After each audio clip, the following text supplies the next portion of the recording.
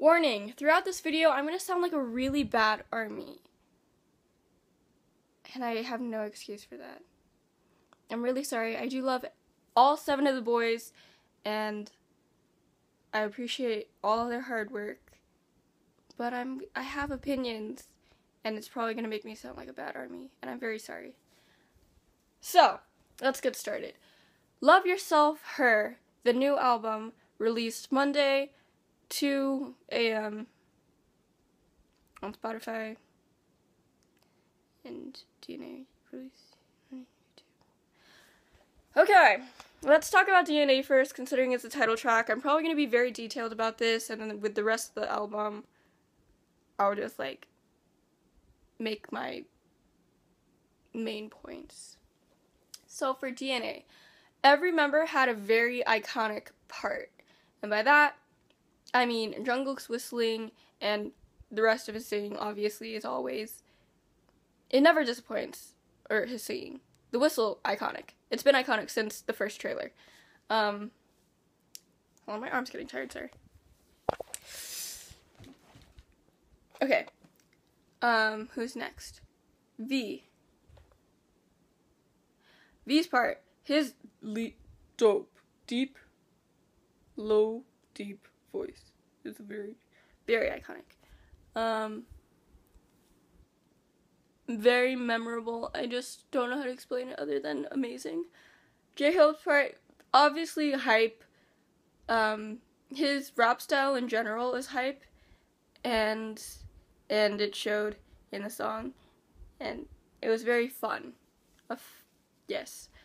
Moving on to Rapmon. Rapmon's style of rap is more like break it down type. I feel like in a lot of songs that shows, and it definitely showed in this song, and I love it. Um, Jimin's part, Jimin's part, uh, there's not a lot of Jimin's singing that are outstanding to me in the song, and that's probably just because like that goes for the same for Jungkook, in my opinion. But it's probably just because they're both like singing the same parts.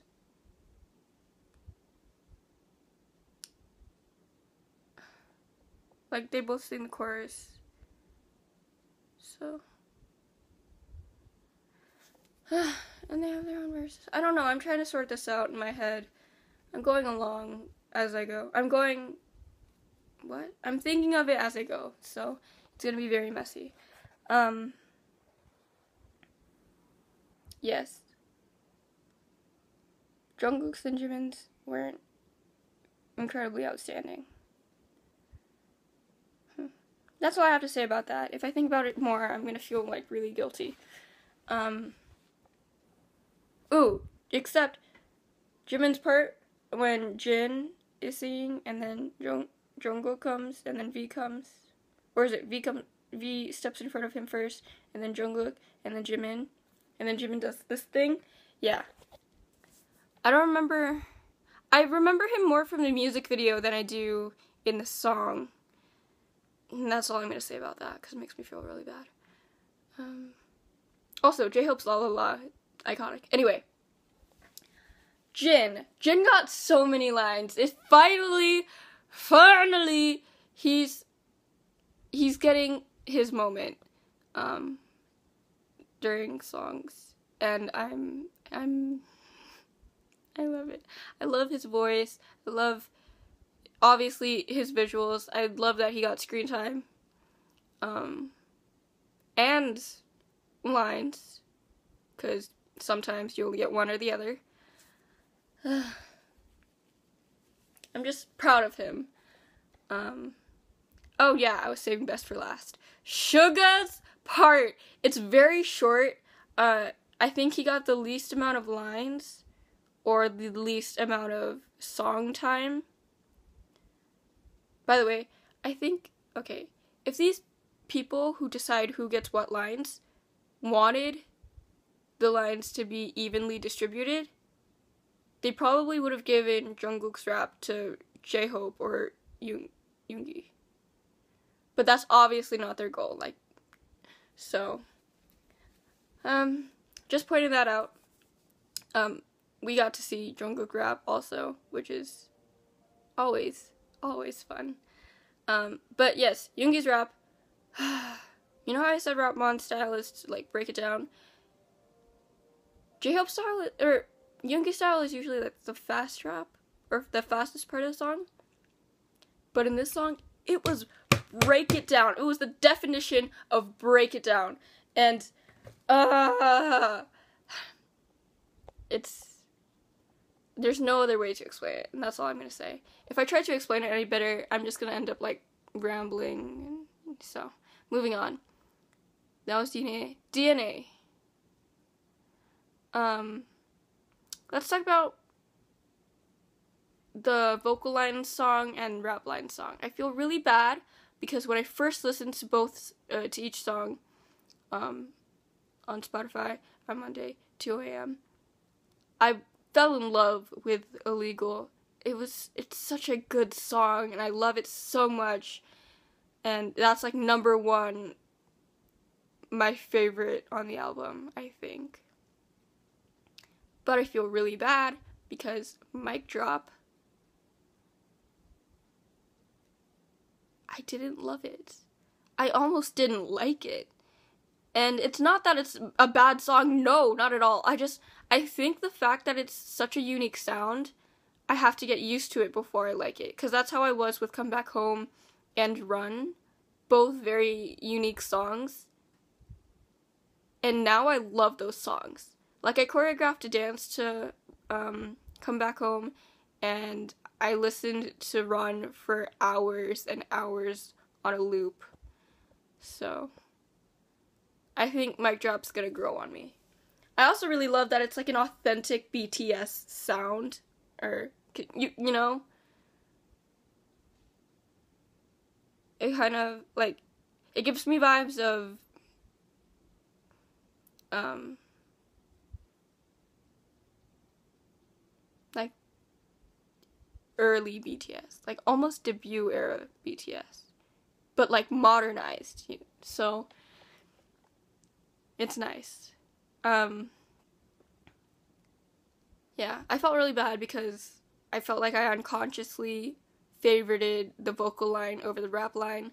That's not at all how it is. I do love the rap line with all my heart, um, and I appreciate all the hard work and all the songs they produce and write and compose and everything.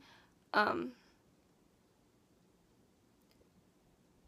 I think it was just easier to like illegal. It's probably, I think maybe it's catchier.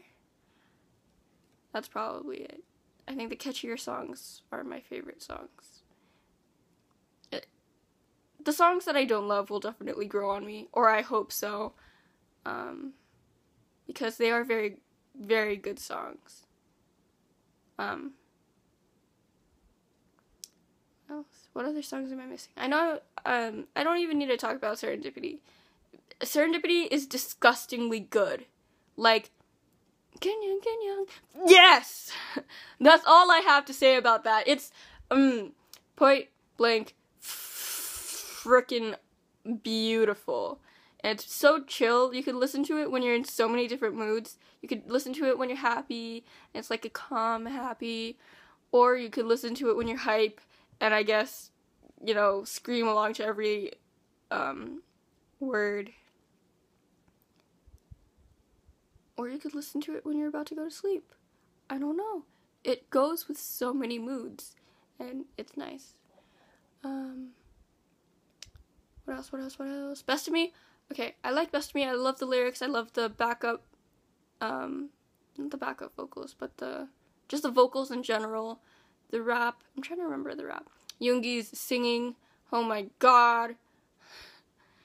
Um, I haven't listened listened to it as much as I have with like Illegal or Pied Piper or Go Go. Um, it's probably another song that'll grow on me. I think the only reason I didn't love it is because Choo Choo Smuckers. They left their footprint in that song. And by that I mean there was a strong lead up to a lack of drop. And that's kind of the only issue I have with that song. Lyrics are beautiful. You got the best of me. Catchy. It just sounds like a Chainsmokers song, and I can tell. But that's okay. I'm still gonna hype it up. I'm still gonna hype up every song, even if I don't love it. Uh, um, her. They really, they really rhymed her with tear. I think that's what they're saying, tear. I don't know. I haven't, I haven't watched all the lyric videos yet, but I just that's something that stood out to me. um, it's a nice song, very chill, very uh, slow jam. Yes, I do watch a lot of Kevin Phillip, and that's um, I agree with a lot of points you made. So, watch Kevin Phillip, I guess. um, what else? I'm trying to think of the other songs. Why can't I think? Did I say all the songs? No, I definitely did not. Pied Piper, Go Go. I was saving those for last. Um. Oh, and illegal. Okay, I'll talk about illegal first. I think I already have. Anyway, Jungkook has this high note, and it needs to be like